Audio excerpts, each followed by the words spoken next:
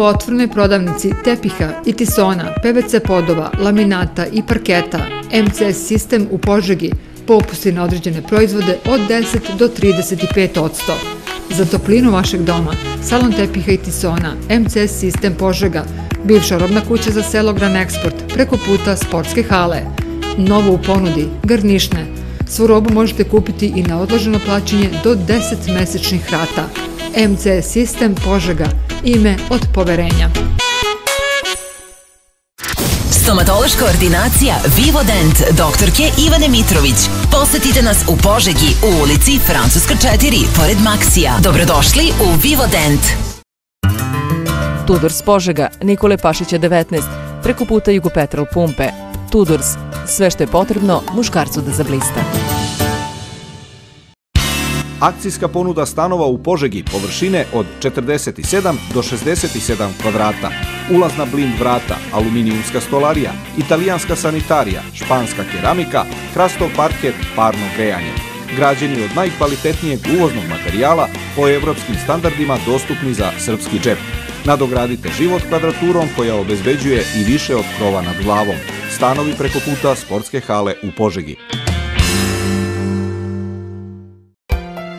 Apoteka Tilija, popust 13%. Bogat ukus mešavine najkvalitetnijih prženih kafa u pakovanju koje čuva svežinu. Mark Kafa.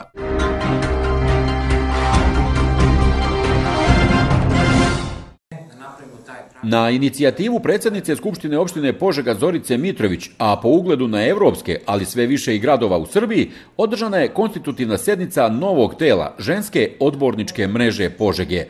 Sednici su prisustovale gotovo sve odbornice svih stranaka i saziva Požaške skupštine opštine, jer će njihove aktivnosti biti usmerene na rešavanje problema uglavnom ženske populacije bez obzira na stranačku pripadnost. Istaknuto je u konstitutivnom, ali i radnom delu sednice, u kome je za koordinatorku ove mreže izabrana Miljanka Filipović.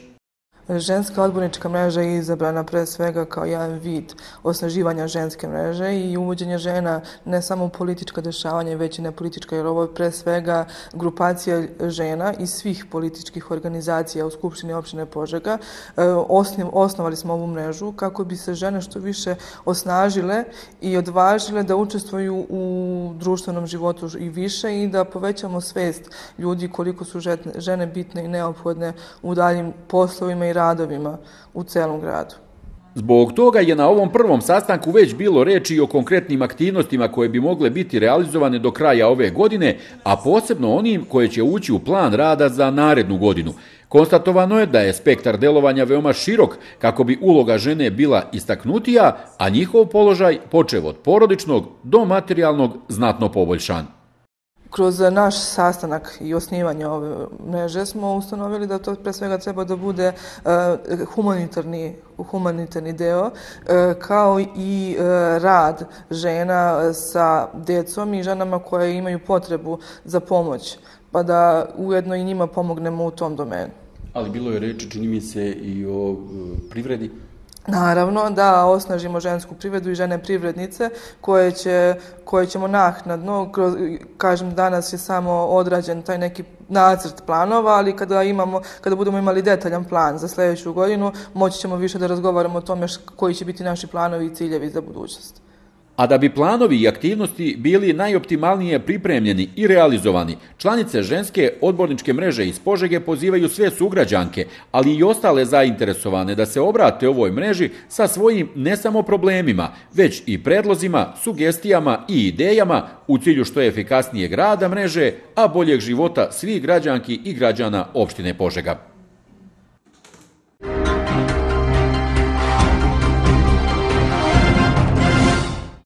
Ministar za inovacije i tehnološki razvoj Nenad Popović boravio je u Arilju. On je prilikom posete učeničkog inovativnog centra u Srednjoj školi Sveti Ahilije izjavio da će vlada Srbije u narodnoj godini uložiti sredstva za osavremenjavanje tih centara u celoj Srbiji. Učenici srednje škole Sveti Ahilije su ministru Popoviću predstavili inovacijone proizvode svojih kompanija. Učenici u kompaniji Raindropa predstavili su sistem za automatsko navodnjavanje koji se pokreće ili gasi slanjem SMS poruke. Znači, dugo da se nalazimo, da smo na nekom odmoru ili letovanju ili na nekom poslovnom putu, možemo poslati samo SMS kako bi pokrenuli ovaj sistem. Mi smo u budućnosti planirali da na naš sistem e, stavimo i solarni panel, e, što bi nam olakšalo e, postavljanje sistema u nekim nepristupačnim delovima gdje nema nekog baš izvora struje. Inovatori Plantageneta pohvalili su se kompletom za kućno ekološko uzgajanje začina i čajeva. U tom kompletu imate biorazgradivu saksiju, znači koju možete premeštati sa zemljom, sa biljkama, možete premestati u neku saksiju ako vi želite ukrasno. E, taj komplet, imamo junior komplet za decu koji je manji i ima znatne promene, a imamo i za odrasle. Obe inovacije, i Plantegenet i Raindrop, su osvojile prva mesta na nacionalnim takmičenjima i predstavljali su Srbiju u Evropi. Učeničke kompanije u Arijskoj srednjoj školi funkcionišu već 10 godina kao van nastavna aktivnost u kojoj se čine prvi koraci ka preduzetništvu. Prave biznis plan, Eh, ispituju tržište, bave se marketingom i naravno razrađuju tu svoju poslovnu ideju do konačnog proizvoda. Eh, proizvod prodaju na tržištu, od tih sredstava ili se dalje šire, ulažu dakle u novu proizvodnju ili pak obezbeđuju sebi nekakav, nekakav džeparac. Ministar Popović je rekao da su trenutno mala izdvajanja za učenički inovativni rad, kao i da su Ariljci izvrstan primjer inovativnog preduzetništva mladih koji u skromnim uslovima, ali sa velikim entuzijazmom postižu dobre rezultate. Vlada Republike Srbije će u narednom periodu da uloži sredstva u osavremenivanje ovakvih učeničkih centara u celoj Srbiji i ovde konkretno u Arilju, kako bi u inovacijonim inkubatorima, inovacijonim start-up centrima, mladi iz bilo kog dela Srbije mogli da pokažu svoje mogućnosti, svoje znanje, da rade u nekim uslovima koji će biti isti kao njihovi kolega iz okruženja, iz zemalja Evropske unije. Ministar je naveo da inovacije i tehnološki razvoj kojim se učenici bave doprinose razvoju Arilja i govore da će u budućnosti iz ove škole iz koje je već izašlo 35 doktora nauka doći i brojni učenici koji će svojim inovacijama doprineti boljitku cele Srbije. Popović se tokom posete Arilju sastao i sa rukovodstvom opštine.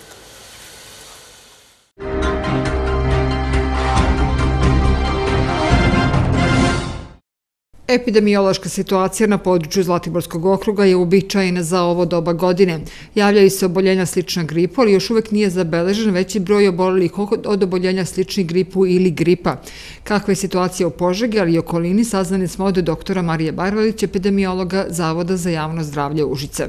Zavod za javno zdravlje Užice na teritoriji Zlatiborskog okruga sprovodi epidemiološki nadzor nad gripom, od septembra meseca kroz različite nedeljne izveštaje o obolenjima sličnim gripu, pored epidemiološkog sprovodi se i virusološki nadzor. E, I prema e, izveštajima koje dovod, dobijamo iz domova zdravlja sa teritorija Zlatiborskog okruga, e, slobodno možemo da kažemo da je trenutna situacija e, mirna, odnosno uobičajena za ovo doba godima. Ne, nemamo već povećenog broja obolih od akutnih respiratornih infekcija, obolenja slične gripu. E, u poređenju sa prošlom godinom čak je i nešto manji broj obolih. E, registruje se oboli sa kliničkom slikom sličnog gripa, ali to je mali broj, tako da e, slobodno možemo da kažemo da imamo jednu potpuno mirnu situaciju. E, za sada grip u Evropi se slabo registruje, tako i da na osnovu podataka koje dobijamo iz Evrope i iz Srbije e, ne očekujemo da će u naredne dve e, nedelje biti doći do nekog povećanog broja obolih. U Srbiji se grip najčešće pojavljuju u drugoj polovini decembra ili čak početkom januara, a maksimum broj obolih dostiže u februaru i martu.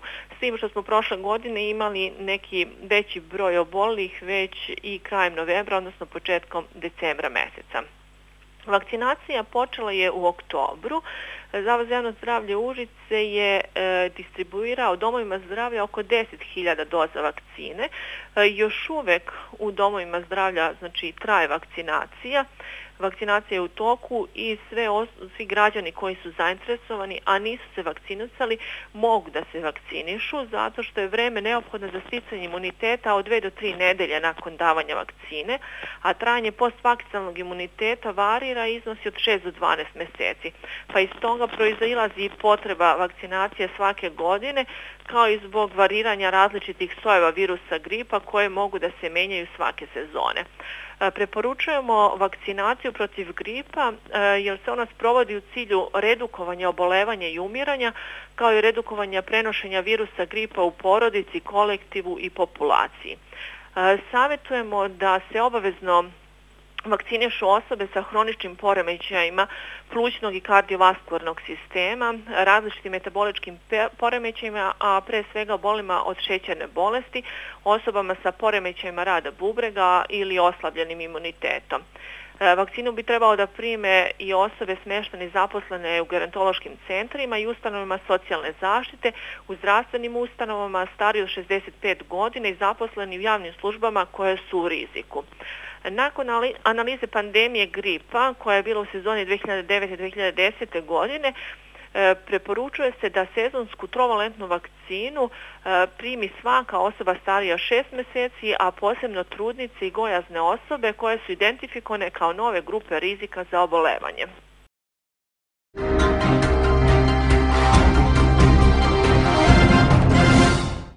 U nedelju 3. decembra Planinarsko-prirodnjačko društvo Maljen organizovalo je planinarski marš pod nazivom Maljenski odred 1914-2017.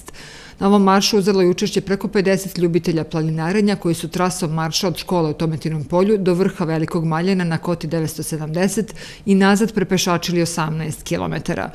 Iako su vremenske prilike bile izuzetno teške, dubog sneg sprečavao brzo hodanje, niko od učesnika nije odustao, pa je Maševska kolona koja je krenula oko 9 časova na kotu 970 izašla oko 13 časova. U znak sjećanja na izginule ratnike u podnožju Velikog Maljenja, učesnici Maša su zapalili sveće i minutom ćutanja odali poštu srpskim junacima. Zadatak da brani strateški važnu i dominantnu kotu 970 Veliki Maljen dobio je Maljanski odred koji se nalazio na levom krilu prve srpske armije. Formacijski manjanski odred sastojao se od 12. Peša, 12. pešadijskog puka, car Lazar drugog poziva, koji su činili vojnici Kruševca i okoline, i od 4. pešadijskog puka Steva Nemanja, trećeg poziva, sa vojnim obveznicima iz našeg kraja. U zoru 24. novembra 1914. godine, pod zaštitom Gusta Magli iz pravca sela Brežđe, položaje manjanskog odreda žestoko napada Austrugarska taktička grupa kojom komanduje pukovnik Heinrich von Alpenbach. Izvršen je obuhvatni napad što je dovelo do opkoljavanja branilaca. Jedinice prve srpske armije i užičke vojske koji su poslate u pomoć zbog uste magle visokih snežnih smetova i borbi na usputnim visovima nisu stigle na vreme. Komandant Rogačičkog odreda, pukovnik Petar Mišić, uspao je da sa devet, devetim pešadijskim pukom drugog poziva izbije na Rior, sa koga su mogli samo da budu nemi svedoci borbe i stradanja vojnika manjanskog odreda.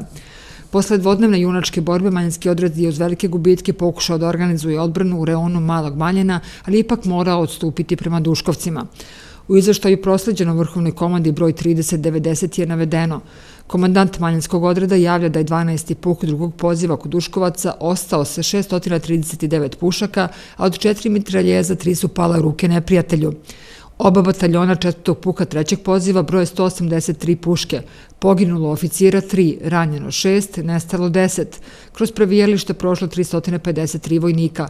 Poginulo je oko 300, a 500 vojnika nestalo na bojištu. Čitave čete ne postoje. Na ovom odličnom organizovanom maršu, pored planinara iz Požege, učestvovali su i planinari društva Rujno iz Užica, Subijela iz Kosjerića, kao i članovi lovačkog udruženja iz Tometinog polja. Najmlji učesnik je bio Dušan Radovanović, rođen 2004. godine, a najstariji je Vojn Bućić iz Užica, rođen 1946. godine. Po završenom maršu, učesnici su se ugostili vojničkim pasuljem na zajedničkom ručku u prostorijama škole u Tometinom polju.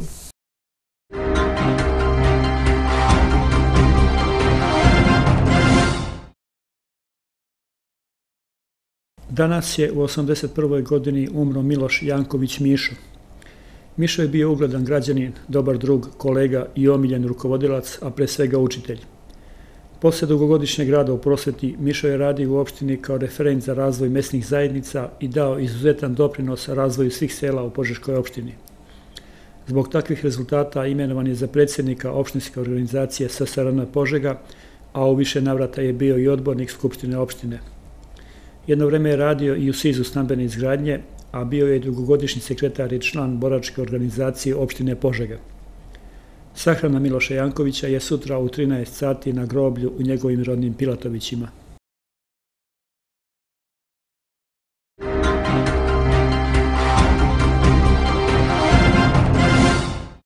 Na šahovskom prvenstvu mlađe kategorija Zlatiborskog okruga koje je održano proteklog vikenda u Ivanjici, takmičari Požiškog šah kluba osvojili su četiri zlatne i dve srebrne medalje i time postigli najuspešniji rezultat na ovom takmičenju. U Ivanjici je održano pionirsko kadetsko prvenstvo Zlatiborskog okruga za 2017. godinu. Učestvovalo je 49 e, najboljih mladih šahista iz Ivanjice, Arijelja, Užica, Čajetine, Bajne bašte, Noje Varoši i Požege. Od tog broja bili su e, 16 devojčica i 33 dečaka. E, veliko i lepo zadovoljstvo je svakako što mogu da kažem da su požeške mlade nade postigle izvaredan rezultat jer su osvojili tri zlatne i jednu srebrnu medalju.